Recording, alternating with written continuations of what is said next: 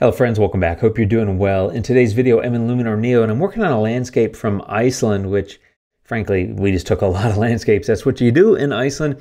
So I've got a lot of workflow kind of videos, but this is one where I've got a single exposure and I really want it to pop. And one of the key things I like to do in those scenarios is use HDR merge on a single exposure to really help me get the thing kind of going. So here's the photo, slightly dark, slightly longish exposure, 1.6 seconds. And uh, it was just a beautiful canyon. What I want to do is start by just dragging this over here to HDR merge. And even though it's a single exposure, of course, it'll create an HDR, which is not a true HDR, but it basically applies that tone mapping algorithm to the single exposure, which gives it a nice bit of pop, helps you get that photo kind of going and give it a little bit of drama, for lack of a better word, to really help me amp up the overall look of the image. Okay, so now I have my base image here, which I think looks a lot better. It's got a lot more kind of umph to the photo. I've also applied noiseless AI and removed spots, but other than that, I've done no edits. That's the photo after going through HDR merge as a single exposure. But what I want to do now is get into develop and start making some adjustments so I can really refine the light and the look overall of this image. So it basically comes out looking the way I want it to look, right? Which is frankly kind of the point of editing, I guess, is you're trying to create something that you want to create. I'm gonna go ahead and apply adjustments here. I think that's looking pretty good. I actually am gonna lift the whites and I like to do that when I have a lot of moving uh, water or waterfalls, things like that. And overall temperature, I'm gonna drop that a little bit as well. So that's what my image started like before I got into develop and there it is now. So I feel like I'm kind of getting there, but I've got a number of things I want to do. The next thing is I like to smooth out those skies. And so this is where Sky AI comes in perfectly handy. Just going to Mask AI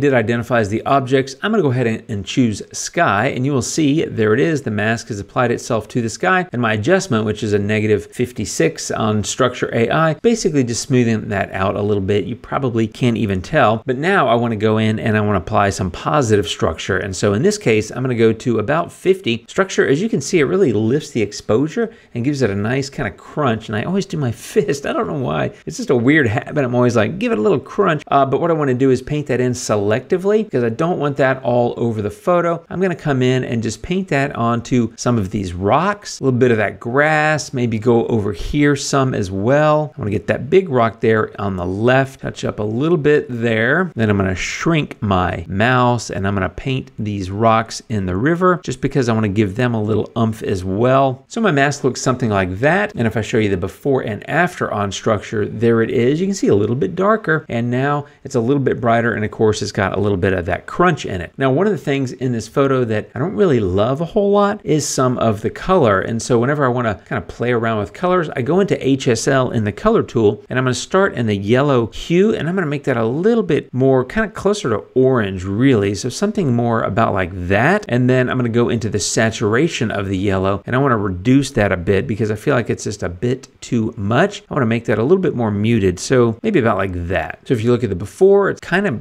quite a bit yellow green and now it's a little bit more muted. In fact, I think that's a little bit too much. I'm gonna pull that back a little bit on some of the saturation and I wanna check the uh, hue again and see if there's any adjustments there. You could go quite orange and make it look like more of a fall image and technically it was fall when we were there, but I don't really wanna overdo it. Let me reset that to zero. I just wanna check this out. I recommend taking your time and kind of slowly moving the hues around, kind of rolling that gently, for lack of a better word, until you get to about where you think you wanna be. I think something about like that is uh, what I'm looking for. So overall, my color adjustments have done from that to that on the uh, on the grasses there. And now I want to use a tool which is really fun to use on landscapes, and that's Mystical. And that's just because it adds this nice little kind of moody touch with a little bit of contrast across the entire image. There it is before, and there it is now. I love to use that, but I uh, I see that the highlights are, are still a little bit bright for me, so I'm going to go back to develop. And I do this a lot as I'm kind of moving around within a photo. I'll just kind of bounce between various tools and filters, and then sometimes go back to develop to do something. I'm to pull those highlights down just a little bit, but I want to bring up the whites a little bit. And that's really helping me kind of bring up some of the that white in the river and in the waterfall. I just want it to not be overdone. So Trying to be a little bit careful with the highlights, put that back to zero. Actually, so one of my favorite things to do is hit the J key and it will show you in red anything that's blown out and in blue anything that's completely black. Well, you can see there's a lot of blue here, but there's no red. So I'm okay with all that blue. I don't really care, honestly, if those sections are completely uh, black, but I want to bring up some of the whites in the moving water in order to just get nice visibility into that. Um, I feel like it's a little bit hot here in a couple of areas, so I'm going to pull back slightly on the highlights. Again, it's just a delicate dance where I'm just kind of balancing things.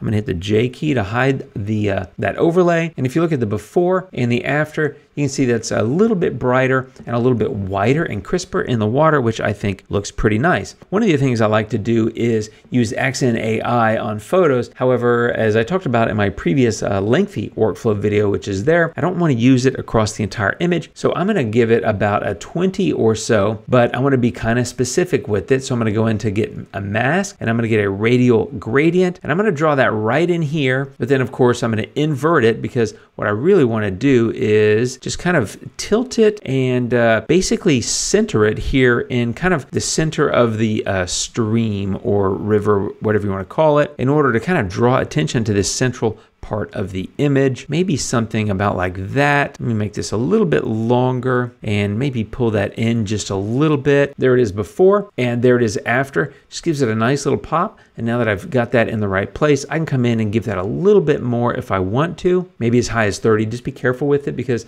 Accent AI does a whole lot of things to a photo. So you just want to be kind of careful and gentle how you're applying that, which is why I try not to go too high on the number and I try to control it with a mask so it doesn't hit the entire image. But there it is again in the center of the photo, kind of across just where the stream is coming. And there it is now. Now another idea would be to close that, open it again, and then just go add a little bit of that to the waterfall. So I'm going to do a, maybe a 25 and here I'm just going to do a brush and I'm just going to kind of paint that in over here. Maybe something about like that. And let me see the before and after. There it is before and there it is after. You can see that just popped that a little bit, which I think again creates a little bit more visibility because for me really the focal point here is the waterfalls coming and of course you can't see the whole stream, but you got this big section here in the foreground and I really want those to pop and stand out against the rest of the photo. And now that I've done that, I'm just gonna hit this with a little vignette. I think something about like that with some inner light as well. And I always tend to choose my subject, and I think my subject is gonna be a little bit here, maybe there actually. I don't want it to be too low because that'll really brighten up some of the very bottom of the photo, and I'm not so concerned about that. I'm more concerned about seeing the waterfall and of course the stream. So I think right in there looks pretty good. Let's check that before and after. The other reason to place the center is because that's where the inner light is going to originate from. The center of the inner light is basically the center of the vignette. So I choose the subject based on also where I want the inner light to be um, impacting the image. So there it is before and there it is after. And I might just lessen the amount a little bit and perhaps slightly reduce the amount of inner light. I don't want to overdo the effect, but there it is before and there it is after. And that's my whole edit, my friends. Let me show you. That's what I started with as a single exposure HDR. As you recall, the previous image, the untouched or unedited image was then added to HDR merge. Got a nice pop out of it, which made it look like that and then denoise and remove spots, which cleaned up the stuff in the sky, and then various tools and filters and masks here to be very specific and targeted with my edit allowed me to really create an image that I like and that I think really stands out and catches the eye, basically shaping the light, shaping the color, shaping the detail all around the photo using different tools and masks really helps you get the job done. But for me, the key thing that really got me started on that path was single exposure dropped into HDR merge to give it that kind of slight pop that you can get with that tone mapping algorithm that you don't always necessarily get in other tools in Luminar. That's how it worked for me in this one, my friends. Hope it gives you some ideas. Thanks for watching. I'll be back soon. You guys take care, and until then, adios.